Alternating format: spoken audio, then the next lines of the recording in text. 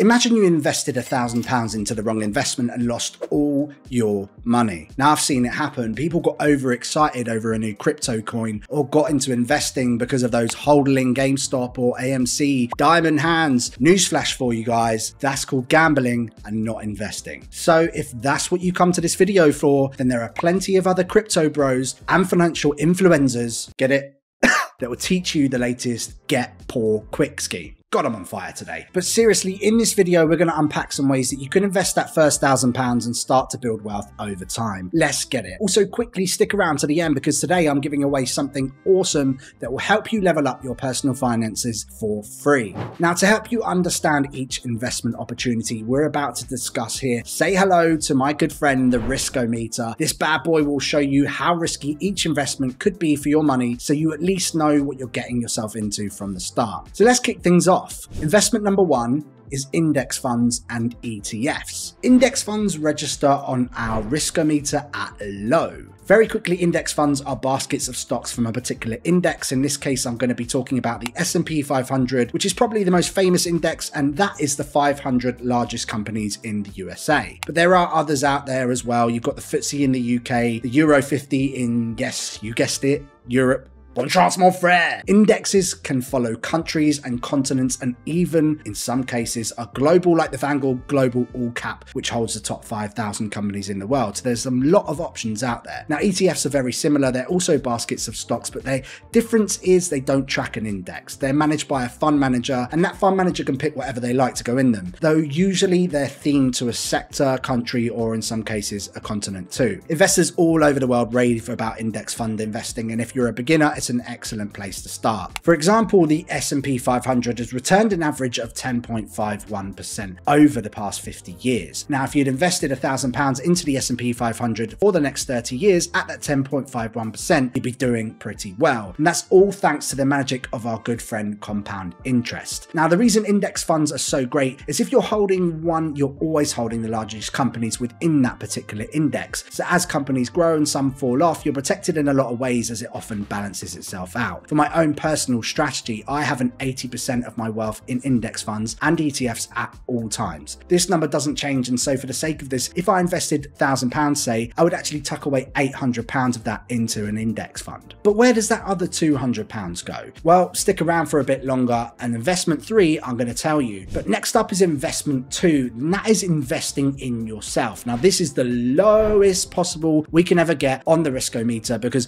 when has investing in yourself yourself ever been a risk. This number is absolutely wild. We only invest 1 to 2% of our total income over our lifetime in personal development. However, the big man Alex Hormozi recently came out and said investing in yourself can offer five extra opportunities, and he's totally right. An example of this could be you're working somewhere and you're paid £15 an hour. However, there's a management course available for £1,000, but at the end of it, you can renegotiate your salary and you'll be qualified to do the exact same thing elsewhere, but for £22 an hour. Now, that's a £7 an hour increase, which is a 46.67% return. You struggle to get that anywhere in the stock market for quite some time. Now, if we think about it like this too, our working week is actually usually around about 40 or so working hours. Sorry to you workaholics, I'm just going on the averages here. So once you've completed the course and hopefully you've got that promotion, you would need to work a total of four weeks to pay that course back and then make a profit on that investment. This is just one example of where investing investing in yourself can pay off. But remember, it can also be for learning a new skill that you use later on to set up your own business. More on that shortly. Or it could even just be to improve your overall health and well-being. All fantastic investments in my personal opinion. Now, investment number three is individual stocks. Now, remember that £200 that I mentioned earlier in the video? This is where I invest the rest as part of my 80-20 strategy. Now, before we jump in, individual stocks gets quite a high rating on the riskometer for me. The good thing about stock picking these days is that you don't need to buy a full share of that company. These days, most popular investment providers, we've left links to some of our favorite ones below, they offer what's called fractional share trading. This means if a full share is £100, you could still invest in that company by buying a fraction of that share, let's say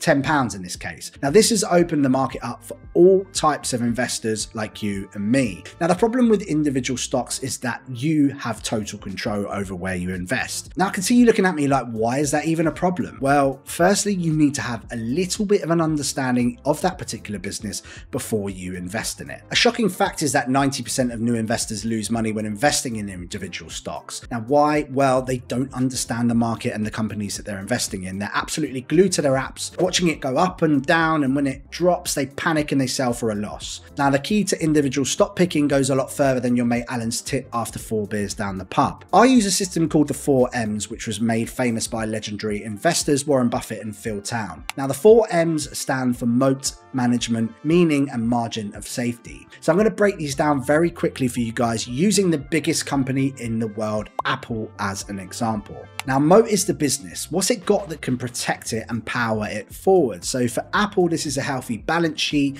and they've got an ecosystem of products that are completely unique. Management, well, we all remember Steve Jobs, what an innovator he was. He created Apple and is widely regarded as one of the best businessmen of all time. Since then, Tim Cook has done a fantastic job and is a great example of good management. Meaning, You've got to understand a business. What is their offering and where can they take that? What's the competitive advantage? Who are the competitors and what are they doing in comparison to that business? You can literally think of Apple versus Samsung here. It's an example that we're all familiar with. Margin of safety. Now, for me, this is the hardest part to measure and it's completely relative to that person and the way that they assess that business. But let's say Apple stock current price is $100. However, after looking at the financials, you might think it's valued at 120 dollars. So that would be a 20% margin of safety. You know it's worth more than that, but the market doesn't think so right now. Now I try to make sure that I've got at least a little bit of a margin of safety on the stock before I invest in it. But to keep it simple for beginners, buying a fantastic business when it drops 10 or 15% because the overall market is acting irrationally is for me like buying a favorite stock at a discount.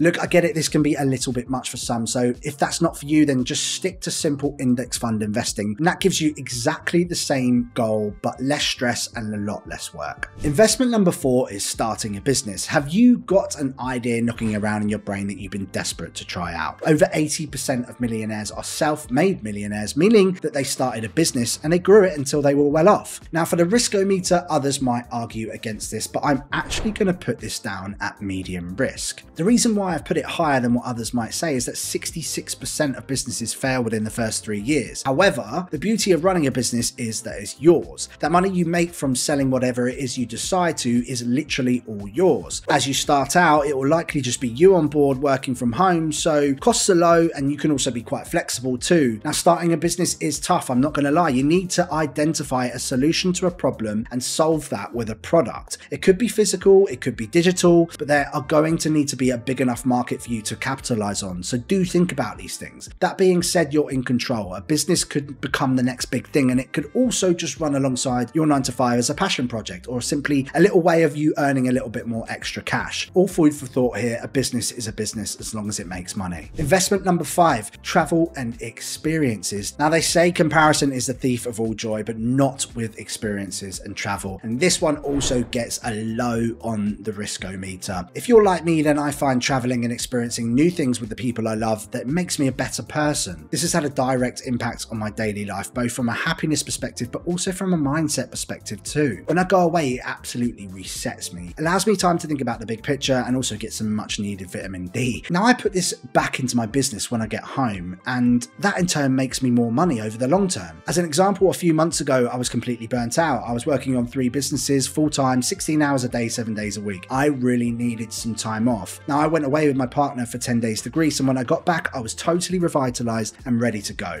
Sometimes, though, investing in your memories and the way you feel has such a massive impact on you as a person. It also ends up making you more money too. Now, investment number five is art. The art world has taken investing by storm recently by offering what's known as fractional share investing in popular pieces of art. Do you remember that from earlier from the individual stock section? Now, how this actually works is imagine I broke down a painting into a thousand different pieces and you bought one of those pieces. You get to capitalize on the rise or indeed fall of that piece of artwork. Interestingly though, it's actually outperformed the S&P 500 as a category by nearly 5.5% more on average a year, which is nuts. So for me, this scores a medium risk on the riskometer. There are platforms like Masterworks that provide access to some of the top artists in the world, and these include shares in paintings from people like Banksy, Andy Warhol, and even classical paintings like Claude Monet. I am Claude.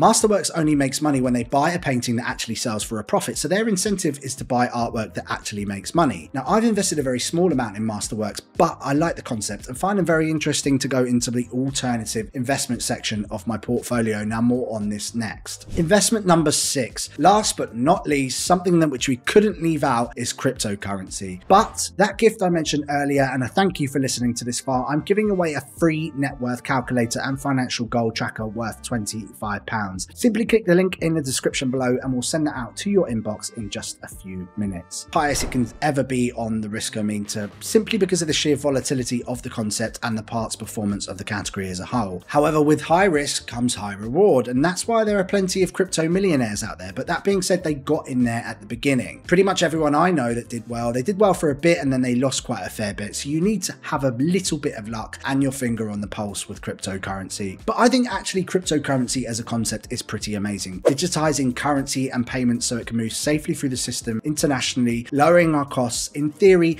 keeping our money safe, is pretty cool. There's obviously a lot more to it than that, but we could make an entire channel out of crypto and I'm nowhere near an expert in it, so I'll leave that to the crypto bros. What I like about it though is that it has potential as a category. So going back to this alternative investment amount, I allocate a very small amount of money to some of the bigger players like Bitcoin and Ethereum. It's a tiny investment amount. Now, under 1% of my entire investment portfolio is in alternative investments. This gives me a good balance and allows me to sleep well at night knowing that I've spread my risk. But again, each their own, find what works for you and go with that. Now, thank you for listening today and be sure to check out our video, Should You Save or Invest? It's coming up next here and be sure to subscribe if for new content if you haven't already and we'll see you soon.